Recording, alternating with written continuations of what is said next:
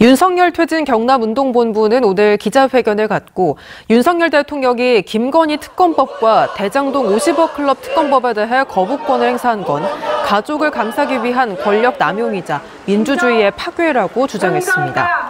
이들은 대통령이 지난해 양곡관리법을 시작으로 간호법과 노조법, 방송법 등의 거부권을 행사해 국회의 입법권을 유린하고 있다며 저항 행동에 나서겠다고 덧붙였습니다. 김해 지역의 시민사회 단체들도 특검법 거부권 행사는 대통령 권한의 사적 남용이라 주장했습니다.